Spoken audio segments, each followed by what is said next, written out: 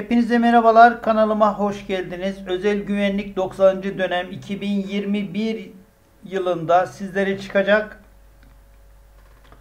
önemli soruları birlikte değerlendireceğiz. Sınavlara giren arkadaşlara başarılar diliyorum. Kanalımıza abone olarak özel güvenlik sorularının tamamını çözebilirsiniz. Ayrıca özel güvenlik ayrıcalıklarından yararlanmak için katıl butonuna tıklayarak bu kanala katılıp üyeler için hazırlamış olduğumuz örnek soruları da çözebilirsiniz. Hepinize başarılar diliyorum. Ve soruları çözmeye başlıyoruz arkadaşlar. Çok çok önemli sorular. Özel güvenlik görevlisinin nokta görevi sırasında yaptığı davranışlardan hangisi doğru değildir?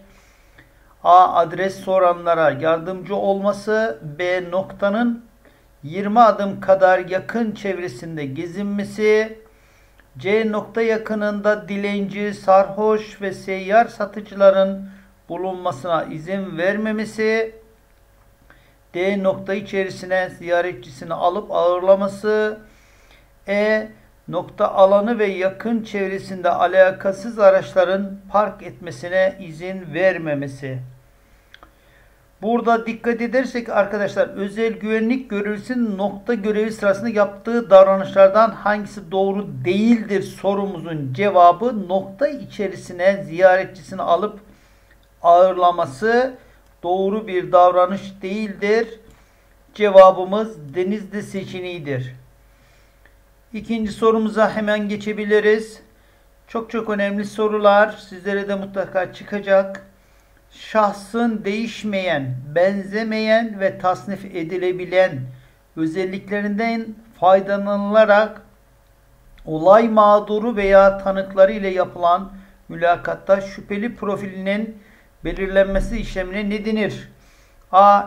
Eşkal tespiti B. Parmak izi C. Kimlik D. Olay tespiti D. Delil tespiti Tabii ki burada arkadaşlar şahsın değişmeyen, benzemeyen, tasnif edilebilen özellikleri deyince hemen A seçeneği aklımıza gelir. Eşkal tespiti.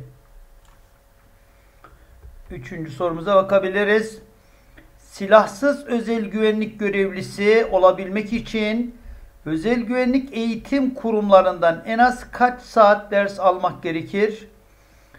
60 saat, 80 saat, 100 saat, 120 saat ve 150 saat.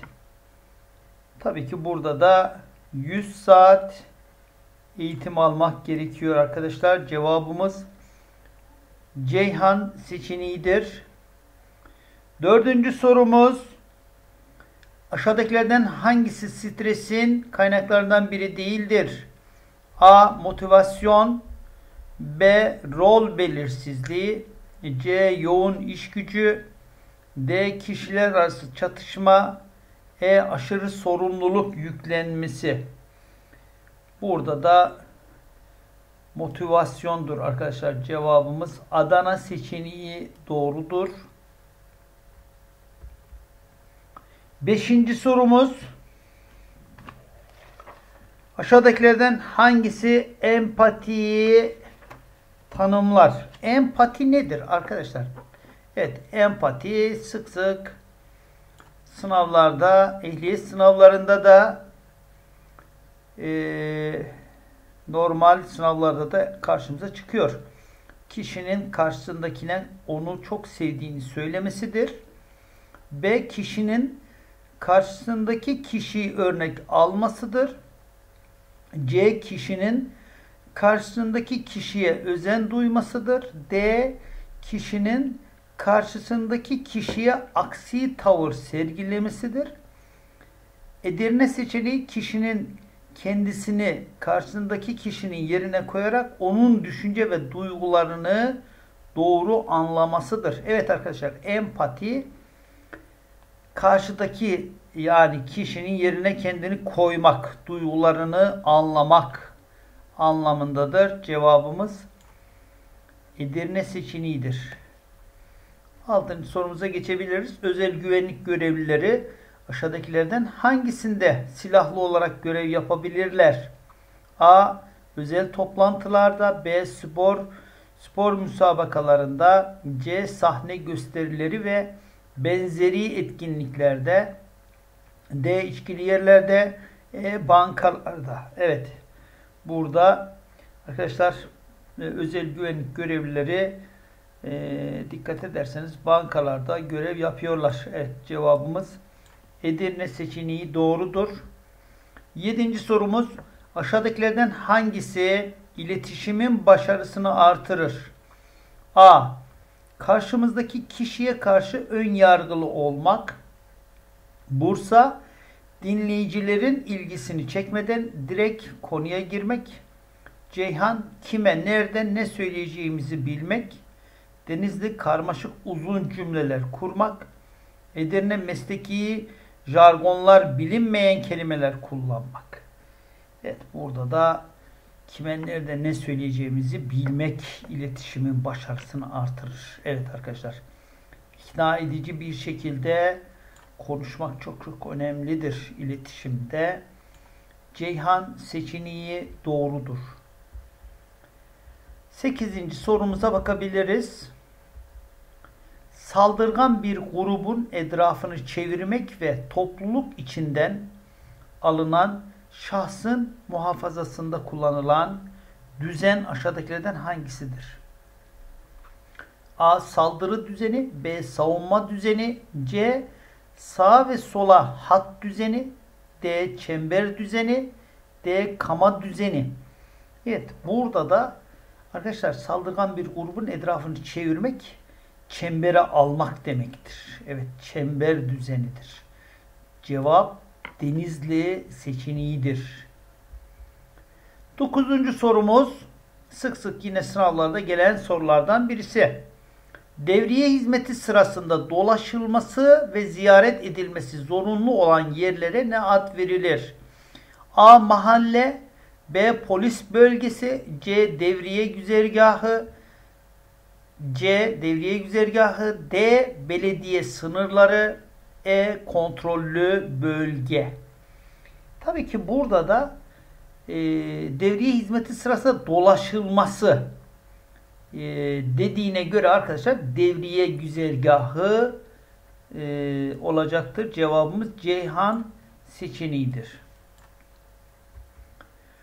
10. sorumuz aşağıdakilerden hangisi AVM'de devriye görevi yapan özel güvenlik görevlisi Cemil ve Onur'un göreviyle bağdaşmaz? A. Devriye görevi sırasında görünür olmak, caydırıcı olmak. B. Proaktif, dikkatli olmak ve olaylara anında etkili müdahale etmek. C. Olay durumunda genel kolluğu aramak ve güvenlik sorumlusuna bilgi vermek. D. AVM ziyaretçilerinden boşalan alışveriş araçlarını toplamak. E. Yaşlı ve engelli vatandaşları yönlendirmek ve yardımcı olmak. Burada da dikkat edersek arkadaşlar e, bağdaşmaz. Yani göreviyle ilgili özel güvenlik görevlisi Cemil ve Onur'un göreviyle bağdaşmayan nedir? Dikkat edelim. AVM ziyaretçilerinden boşalan alışveriş araçlarını toplamak. Evet, alışveriş araçlarını toplamak özel güvenlik görevlilerinin görevi arasında yoktur. Denizli seçeneğidir. Evet. 11. sorumuza bakalım solunum yolu kısmi olarak tıkanmış bir kişide aşağıdakilerden hangisi görülür? Burada ne sormuş? İlk yardım sorusu kısmi tıkanmadan bahsediyor. Bakın. Kısmi tıkanma. Kısmi tıkanma. Ee, A. Morarır. B. Üksürebilir. C. Konuşamaz. D. Nefes alamaz. E. Göğüs ağrısı olur. Burada kısmi tıkanmayı sormuş. Arkadaşlar kısmi tıkanmada hasta yaralı konuşabilir, öksürebilir, derdini anlatabilir. Burada bakın öksürebilir seçeneğimiz Bursa seçeneğidir. Kısmi tıkanma yaşamıştır. Morarmak, konuşamamak. Bakın konuşamaz, nefes alamaz. Bunlar tam tıkanmanın belirtileridir. Evet. Hemen 12. sorumuza geçebiliriz. Bir alışveriş merkezinde suç işledikten sonra özel güvenlik görevlilerince yakalanan kişi veya emanete alınan eşya kime teslim edilir? A. Özel Güvenlik Komisyonu'na B. Yetkili Genel Kolla C. Adliyeye D. Özel Kolla E. Valiliğe Evet. Burada da dikkat edersek arkadaşlar bir alışveriş merkezi suç işledikten sonra özel güve, güvenlik görevlilerince yakalanan kişi veya emanete alınan eşya yetkili genel kolla teslim edilmesi gerekiyor. Bursa seçeneği doğrudur. 13. sorumuz kişi özgürlüğünün genel kolluk tarafından hakim kararı olmadan geçici olarak sınıflandırılmasına bakın sınırlandırılmasına ne denir? A. Arama B. Yakalama C. Hüküm giydirme D. ifade alma E. Tutuklama Kişi özgürlüğünün genel kolluk tarafından hakim kararı olmadan geçici olarak sınırlandırılması bakın burada bir ne var arkadaşlar? Sınırlandırmada yakalama var bakın. Yani evet geçici olarak yakalamadan bahsetmiş bakın. Cevap Bursa seçeneğidir. 14. sorumuz hangisi kimyasal yanıklara örnektir? A. Güneş yanıkları B. Sürtünme ile oluşan yanıklar C. Donma sonucu oluşan yanıklar D. Asit madde ile oluşan yanıklar E. Elektrik çarpması sonucu oluşan yanıklar. Evet arkadaşlar burada yanıklardan bahsetmiş. Bakın kimyasal yanık. Kimyasal yanık asit maddesiyle oluşan yanıklardır. Kimyasal yanıklar. Denizli seçeneği doğrudur. 15.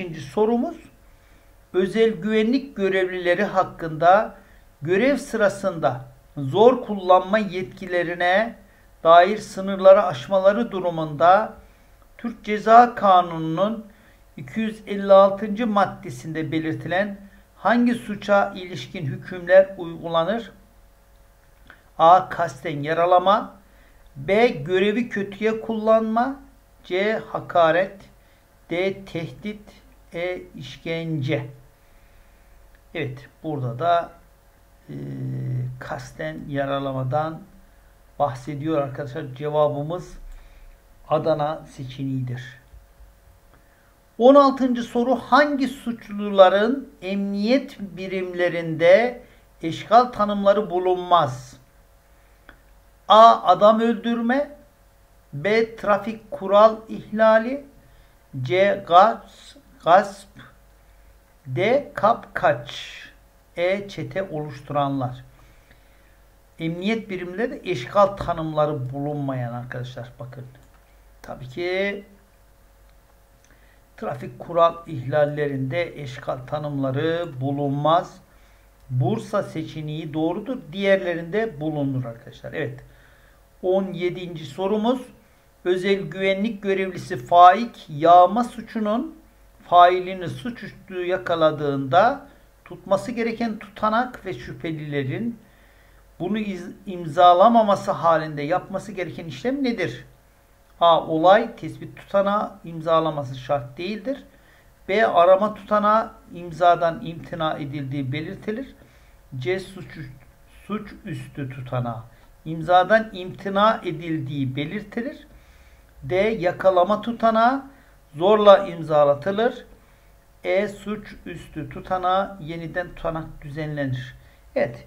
Burada da arkadaşlar bakın özel güvenlik görevlisi faik yağma suçunu failini suçüstü yakaladığında tutması gereken tutanak tabii ki suç üstü tutanağı imzadan imtina edildiği belirtilir. Evet, Ceyhan seçeneği cevabımız olacaktır. 18. sorumuz aşağıdakilerden hangisi? İlk yardım yapan kişinin müdahalesi esnasında yapması gereken işlemlerden değildir. A. Sakin ve kararlı olmalıdır. B. Kimseden yardım almamalıdır. C. Mevcut imkanları değerlendirmelidir. D. Yaralının endişelerini gidermelidir. E. Çevrede yardımcı olacakları organize etmelidir. Evet burada ilk yardım yapan kişinin müdahalesi esnasında yapması gereken işlemlerden değildir diyor bakın. Değildir. Yani ilk yardımcının özelliklerinden birisi değildir arkadaşlar. Tekrar okuyorum bakın. Sakin ve kararlı olmalıdır. Kimseden yardım almamalıdır. Almalıdır tabii ki bakın. Bu B şıkkı yanlıştır arkadaşlar. Evet. Çok sayıda yaralı varsa olay yerinde gerekirse birilerine aratmalıdır. O e, hasta yaralılara müdahale ederken mevcut imkanları değerlendirmelidir. Yaralının endişelerini gidermelidir. Doğrudur her ikisi de. Çevrede yardımcı olacakları organize etmelidir. Doğrudur. Hemen 19. soruya geçebiliriz. Çok çok önemli sorular. Yanabilen hafif metallerin alüminyum, manezyum, sodyum ve benzeri oluşturduğu yangınlar hangi yangın sınıfına girer? A. F sınıfı yangın B. D sınıfı yangın C. C sınıfı yangın D. B sınıfı yangın E. A sınıfı yangın yanabilen hafif metaller dediği için arkadaşlar burada da D sınıfı yangınlara giriyor. Cevap Bursa seçeneğidir. 20. sorumuza bakabiliriz. Bebek veya çocuk bir hastada kalp akciğer canlandırması uygulaması sırasında verilmesi gereken kalp masajı ile soluk sayısı ne olmalıdır? A. 5 soluk bir kalp masajı B. 2 soluk 30 kalp masajı C. 1 soluk 10 kalp masajı D. 1 soluk 30 kalp masajı E. 3 soluk 30 kalp masajı Evet arkadaşlar yetişkinlerde çocuklarda ve bebeklerde 30 kalp masajı, 2 kurtarıcı nefes yani 2 kurtarıcı soluk verilmesi gerekiyor. Cevabımız Bursa seçeneğinde doğrudur. Hemen 21. soruya geçelim. Yüz, beden, bedensel temas, mekan kullanımı gibi çeşitli araçlar kullanılarak gerçekleştirilen iletişime ne ad verilir? A. Kişiler arası iletişim B. Sözlü iletişim C. Sözsüz iletişim D. Öz kişisel iletişim E. Yatay iletişim Evet arkadaşlar burada e, yüz beden bedensel temas mekan kullanım çeşitli araçlar kullanılarak e, sözsüz iletişim adı veriliyor. Evet cevap Ceyhan seçeneğidir. 22. sorumuz Mevlana'nın gel gel ne olursan ol yine gel sözü aşağıdakilerden hangisinin önemini vurgulamaktadır? A. Nezaket B. Hoşgörü C. Doğru algılamak D. Özgüven E. Ben merkezcilik Evet arkadaşlar burada da Bursa seçeneği bakın. Bursa seçeneği hoşgörüden bahsediyor. Evet Bursa seçeneğidir.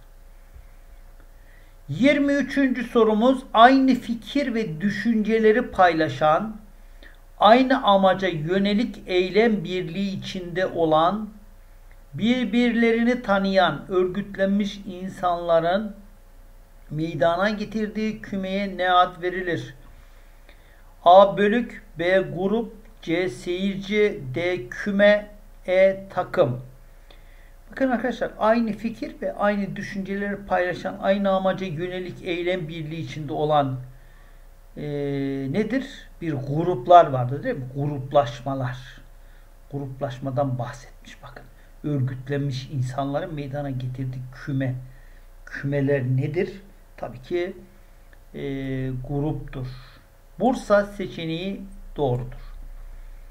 24. sorumuz aşağıdakilerden hangisi özel koruma hizmetleri olarak adlandırılan hizmetlerden değildir?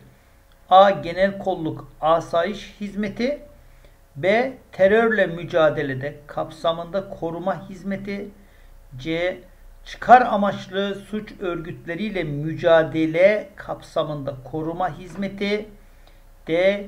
Ceza davaları ve diğer koruma hizmeti E. Özel güvenlik koruma hizmeti Evet arkadaşlar burada da dikkat ederseniz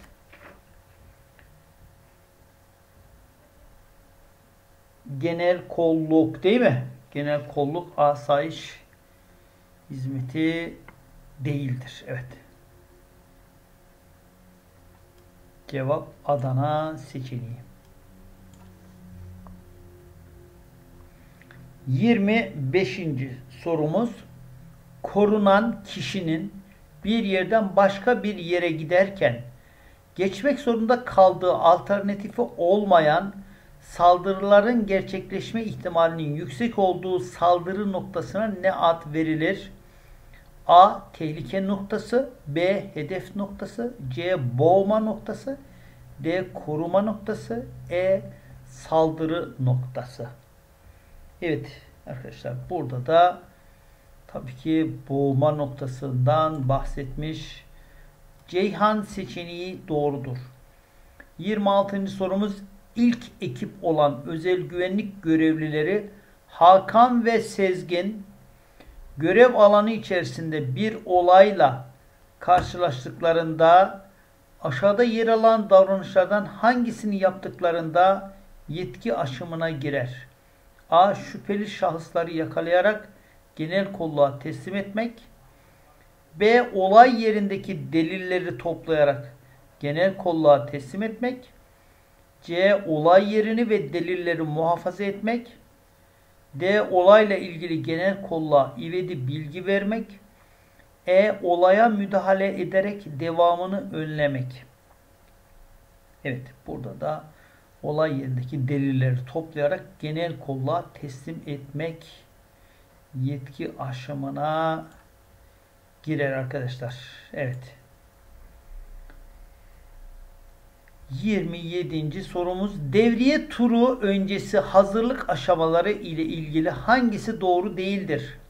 A. Psikolojik hazırlık B. Teknik hazırlık C. Sosyolojik hazırlık D. Zihinsel hazırlık E. Fiziksel hazırlık Devriye turu öncesi hazırlık aşamalarıyla ilgili arkadaşlar ee, tabii ki sosyolojik hazırlık doğru değildir. Cevabımız Ceyhan seçeneği.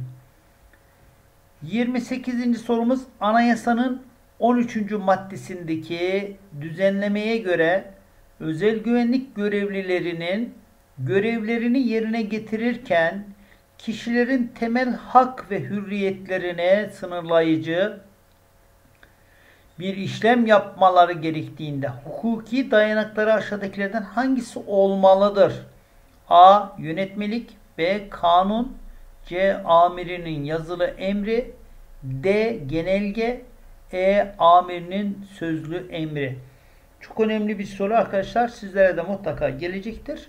Tabii ki burada kanundan bahsetmiş. Evet. Cevabımız Bursa seçeneğidir. 29. soru sizin özel güvenlik hizmetlerine dair kanun arkadaşlar. 5188 sayılı kanun. 5188 sayılı özel güvenlik hizmetlerine dair kanun ile aşağıdaki kanunlardan hangisi yürürlükten kaldırılmıştır? A. 2495 sayılı bazı kurum ve kuruluşların korunması ve güvenliklerinin sağlanması hakkında kanun.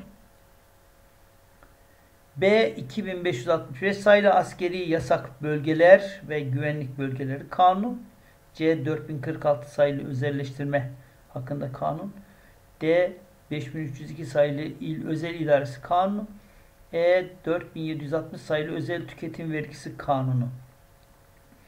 Burada da arkadaşlar e, 5188 sayılı özel güvenlik hizmetlerine dair kanunla e, 2495 sayılı bazı kurum ve kuruluşların korunması hakkındaki güvenliklerin sağlanması hakkındaki kanun yürürlükten kaldırıldı. Adana seçeneği doğrudur. Son sorumuz arkadaşlar bu videomuzda. Aşağıdakilerden hangisi kitle iletişimin fonksiyonlarından değildir? A. Dış dünyayı görmeyi sağlama. B. Haber verme. C. Eğitme. D. Takdir etme. E. Eğlendirme. Tabii ki arkadaşlar kitle iletişimi fonksiyonlarından birisi takdir etme değildir. Denizli seçeneği. Evet arkadaşlar kanalımıza abone olup videoları beğenmeyi unutmayın lütfen. Kanala katılarak özel güvenlik 2021 örnek sınav sorularına erişebilirsiniz. Hepinize başarılar diliyorum. Bundan önce daha önce atmış olduğum 84. dönemden 90. döneme kadar arada atmış olduğum tüm özel güvenlik sorularını çözebilir ve başarınızı %100 artırabilirsiniz. Bir sonraki videoda görüşmek üzere. Hoşçakalın. Kendinize iyi bakın.